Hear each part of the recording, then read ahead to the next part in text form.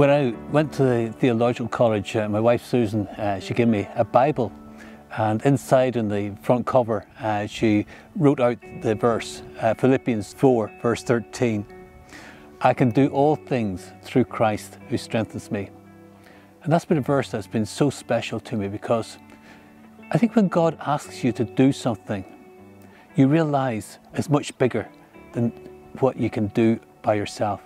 You need help you need strength. You need someone uh, to be there to do that. And I know in my own life, uh, uh, the things that God has asked of me, there's no way I could ever have done them without His help. And that's what the Holy Spirit is.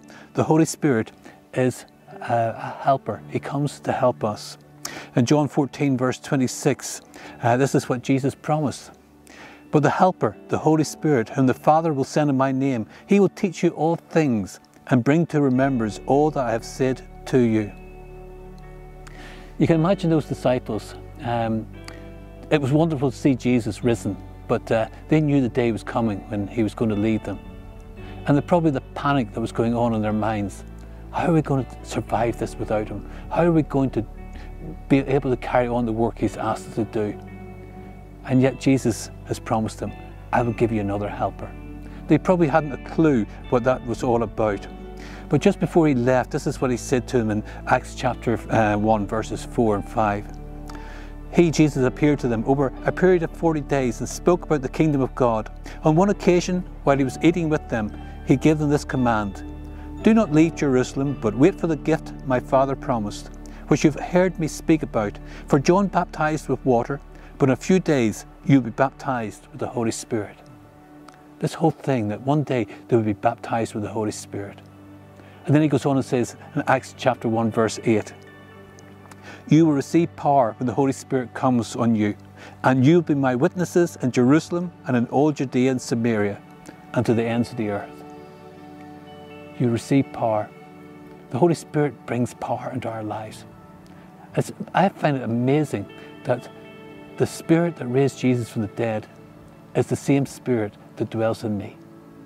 Um, I can't comprehend that. The Spirit who was there at the very beginning, hovering over the waters, is the same Spirit that is in me.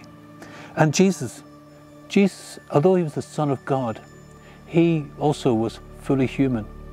And he had to take on the human conditions of us.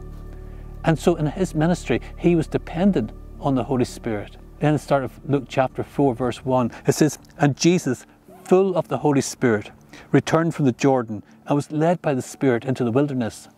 And we know how he was tempted there for 40 days.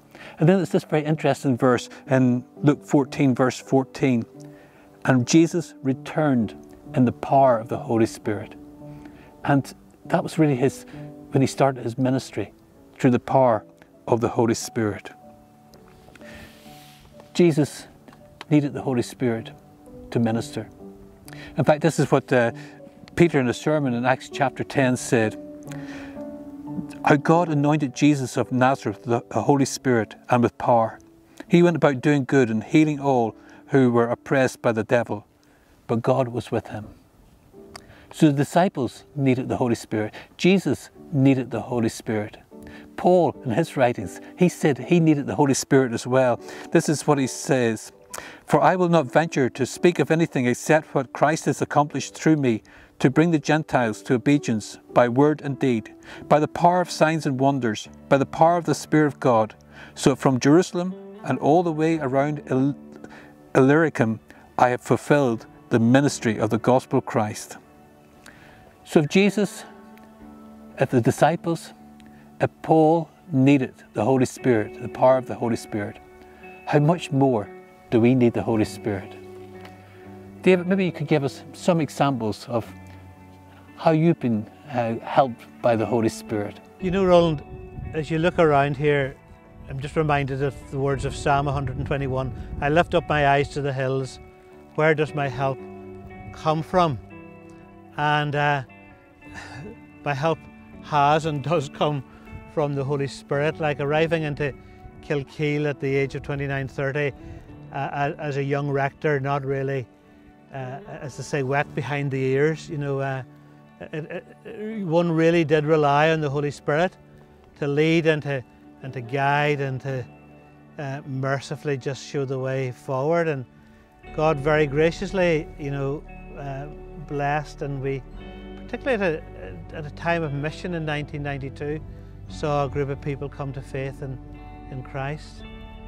And, and then arriving into Belfast, where in truth I felt totally out of my depth. I remember just crying out to God and saying, God, I desperately need you. And, and again, I lift up my eyes to the hills. Where does my help come from?